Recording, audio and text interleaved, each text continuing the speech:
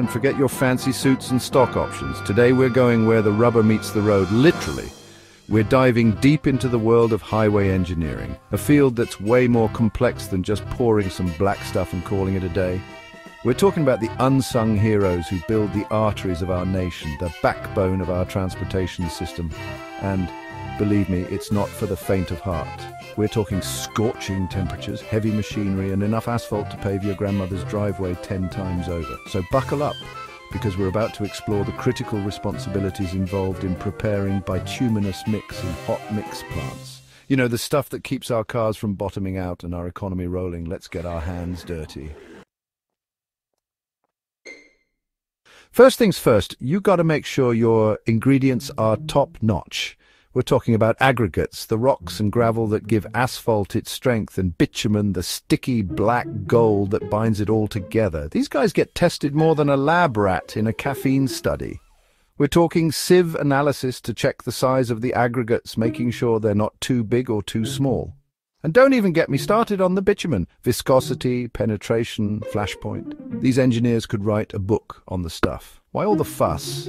Because a subpar mix means potholes, cracks, and a bumpy ride for everyone. And nobody wants that, especially not the guys who have to fix it. Now that we've got our ingredients, it's time to mix them up.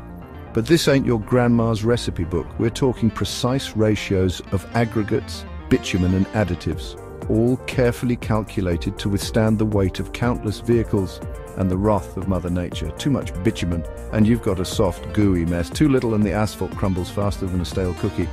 It's a delicate dance, my friends, and these engineers are like the Fred Astaire of asphalt.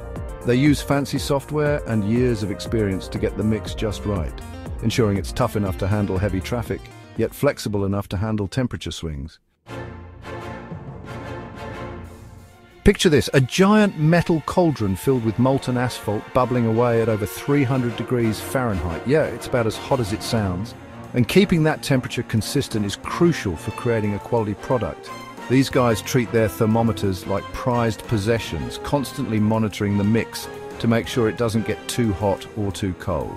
Too hot and the bitumen can burn off, leaving you with brittle asphalt. Too cold and it won't bind properly, leading to premature failure. It's a high-stakes game of hot potato, and these engineers are the masters of keeping their cool under pressure. We're talking massive conveyors, monstrous mixers and enough moving parts to make your head spin. Keeping this asphalt factory humming requires a dedicated team of mechanics and engineers who know every nut, bolt and bearing like the back of their calloused hands. They're constantly on the lookout for wear and tear, performing preventative maintenance like it's an Olympic sport.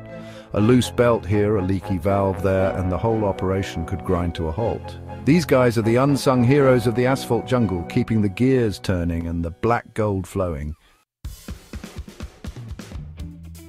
Let's face it, Asphalt production isn't exactly known for being environmentally friendly, but these days companies are going the extra mile to minimize their impact. And it all starts with dust control. Giant bag filters capture dust particles before they can escape into the atmosphere. And water spray systems keep things cool and prevent asphalt from sticking where it shouldn't. They even recycle old asphalt, grinding it up and incorporating it into new mixes.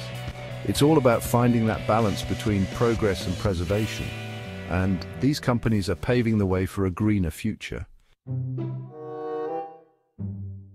Think asphalt production is all brawn and no brains? Think again.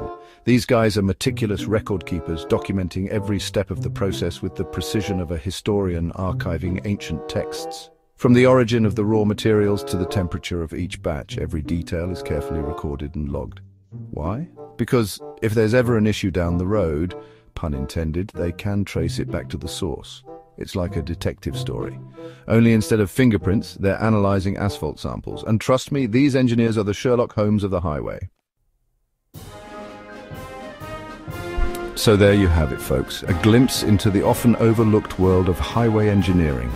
Next time you're cruising down the road, take a moment to appreciate the hard work and dedication that goes into every mile of asphalt. It's a testament to human ingenuity, perseverance and our never-ending quest to build bigger, better and smoother roads. And who knows, maybe one day you'll be the one behind the wheel of that asphalt paver, leaving your mark on the world one lane at a time. Thanks for watching.